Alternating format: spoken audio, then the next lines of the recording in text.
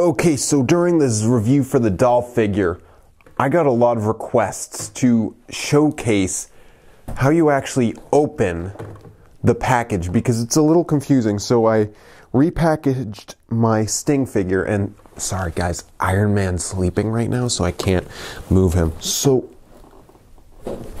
so you saw how I opened it. I ripped it open from the side, but that's not how you open it. If you want to open it carefully, there are flaps on the side and let me get a Swiss Army knife so I can open it. So as Aerosmith said, I'm back! And this is the side you break open. You break free, as Ariana Grande once said on her hit album, Breakout. Break. So slowly cut at the seam. There's one tape spot there. Should open the top flap, I think.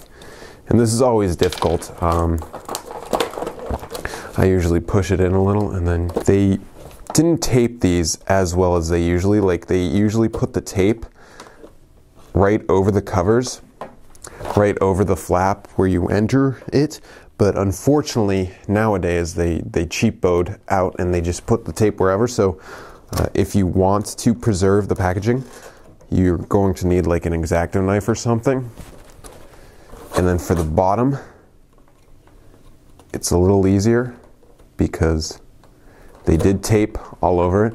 So you get the bottom flap and then it's open.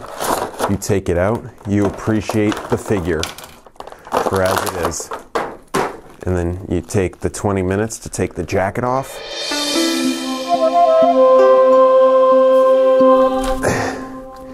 You got the best Sting figure ever made.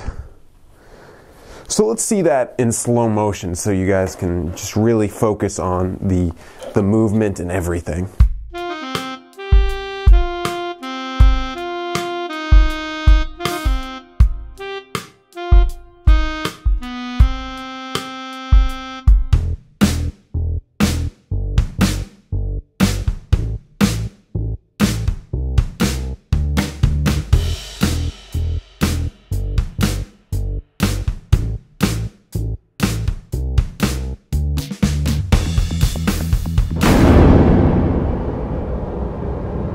Hum, it's a Christmas. Hum, Wonderland. Hum, Santa's coming